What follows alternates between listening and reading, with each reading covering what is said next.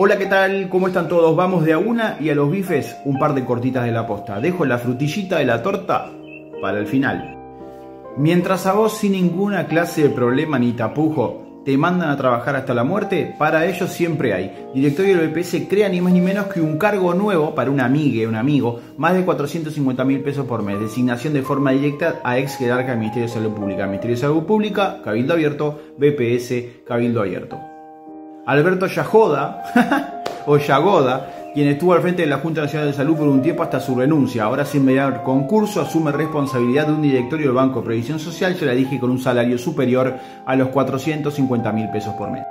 Si lees todo el texto te vas a dar cuenta que se van enrocando porque salió uno, entró otro, salió Salinas, entró esta, aquello, pero siempre para los amigos de la política y entre ellos siempre hay dinero. Para estos, para los que se pelean para ganar las elecciones, tanto unos como otros.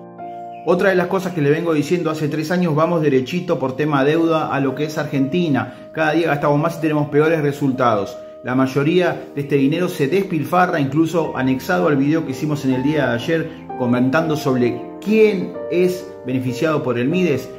Es, eh, solo en ACE se incrementó 200, gastamos 600 millones en el MIDES. ¿Para qué? Basta de incrementar el gasto. Pero bueno, lamentablemente seguimos el camino de los argentinos. Y ahora les voy a dejar la frutilla de la torta. Violencia narco obliga a suspender tareas de limpieza en Villa Española y a la policía e inteligencia, bueno, bla bla bla. Es decir, los vecinos no solamente no tienen seguridad, sino que tampoco tienen limpieza y tienen algunos recorridos de ómnibus eh, remarcados por la delincuencia.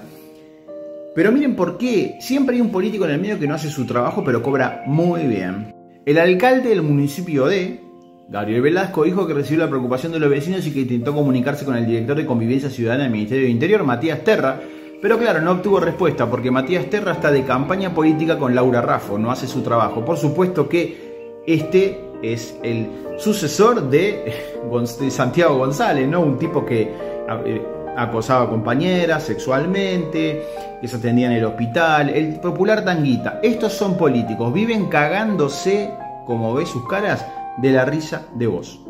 Ahora sí, la frutilla de la torta. No quiero que nos acostumbremos a estas noticias, cuerpos atados, dos, tres, seis, ocho muertos por día por diferentes situaciones, narcotráfico, femicidio, lo que se imaginen. No quiero que el uruguayo deba acostumbrarse a ser el país prácticamente más violento de América. Esa es la verdad. Pero estas cosas nunca se van a solucionar con el nivel legislativo que voy a pasar en este próximo video que vos vas a ver ahora, donde simplemente se discuten y pelean entre ellos, pero no solucionan absolutamente nada. Simplemente hacen bardo para su nicho electoral y para la tribuna. Presta atención. No, lo que pasa es que lo taché antes. Bueno, dale. Tiene la palabra el señor senador da Silva. Dale, no me hinche las pelotas.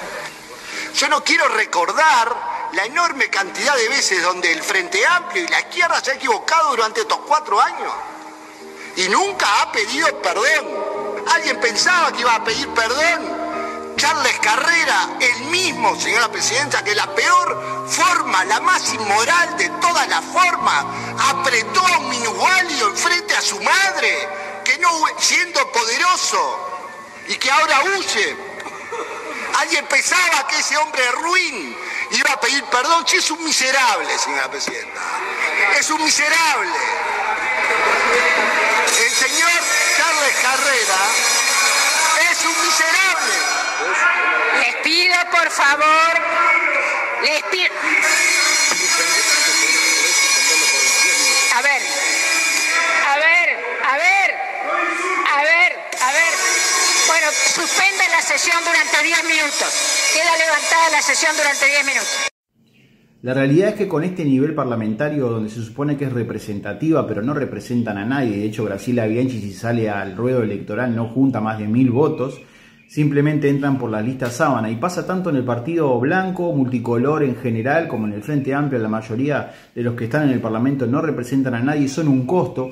Esta gente nos cuesta más de 440 mil dólares por día su funcionamiento. Imagínense todo lo que podríamos hacer simplemente cortándolos a la mitad, no habría más problemas ni edilicios, ni educacionales, ni nada. Piénsenlo bien, es mucho más... Eh, positiva para la sociedad la democracia directa, donde la ciudadanía, por intermedio de muchísimos menos políticos, decide las cosas.